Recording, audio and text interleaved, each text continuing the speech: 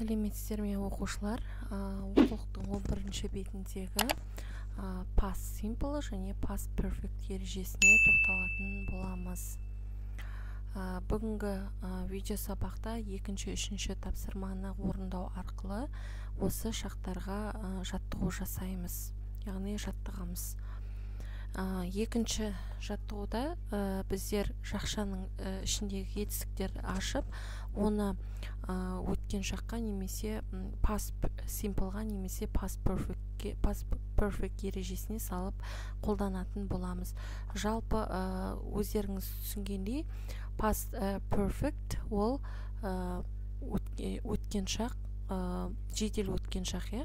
Ол past simple-дың алдында болып кететін іс әрекет мысалы берілді ол мәтіннен алды иә? Бекидің әңгімесінде айтылады беки мен әже, әжесінің үйіне келген кезде ол бірнеше фотоларды шығарып тауып қойған иә?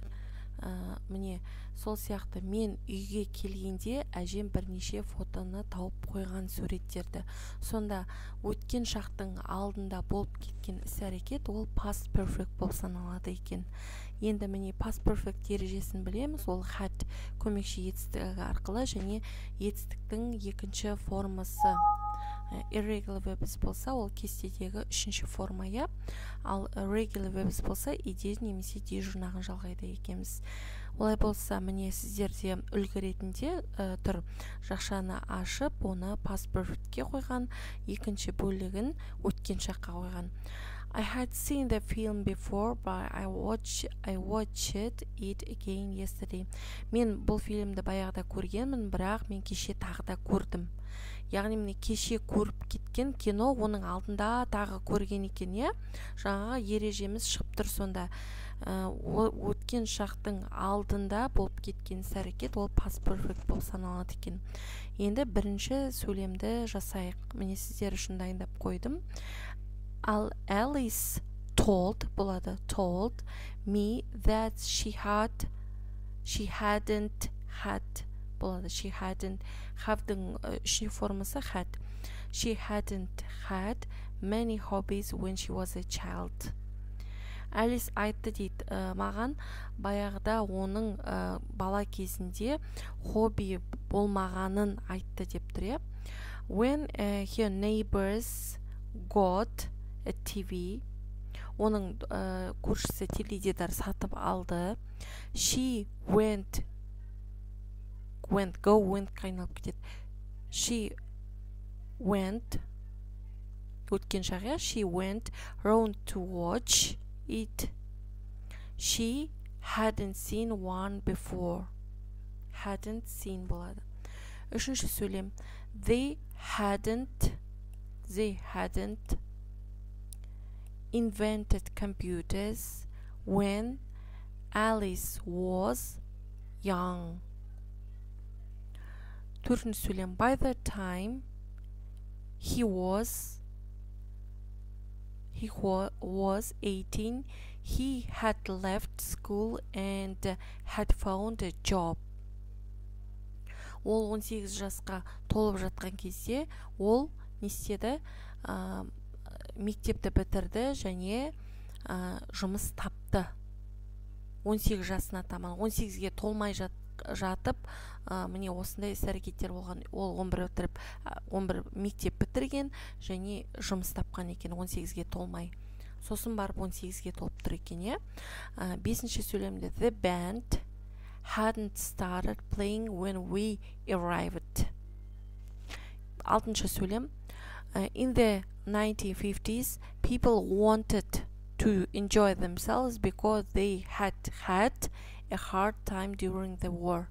They had had түсінікті болды деген ойдамын. Олай болса үшінші жаттығуға көшейік. Complete the sentence using the past perfect in your own ideas. Бұл жерде жаңа past perfectті қолдана отырып міне мына жерде past simple қолданып тұр. Мынаның барлығы past simple.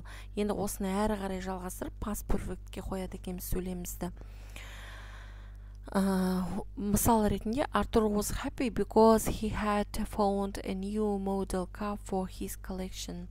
Ол топтамасына артур көңілді болды. Себебі ол ә, топтамасына жаңа үлгідегі машинаны тапты. Енді бірінші сөйлемді біз мен өзімнің ойыммен жаздым иә.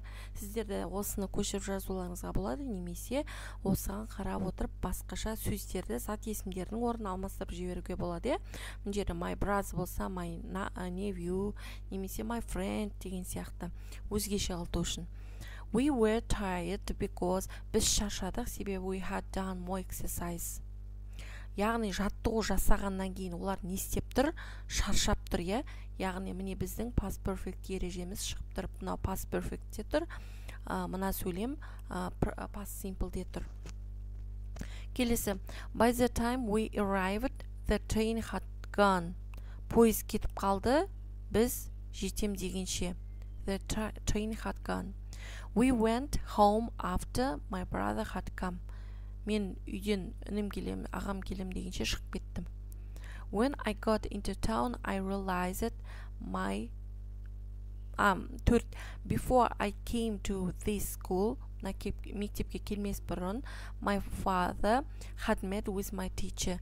Менің әкем ә, мұғаліміммен кездескен. Яғни бірінші іс әрекет мұғаліммен кездесу болды. Со, болды. Содан кейінгі әрекет ол мектепке келгені.